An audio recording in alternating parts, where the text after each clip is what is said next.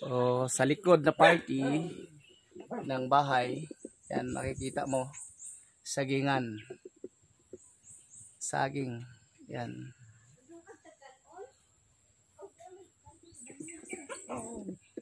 Yan. Punong-puno ng mga pananim. So, yan ang buhay dito.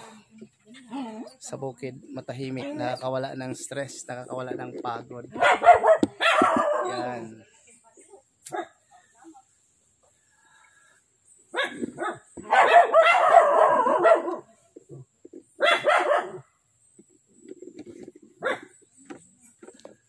Okay, so yan ang ating bukirin. Magandang mga tanawin. Praise the Lord. So, pinagpapala yung mga pananim natin.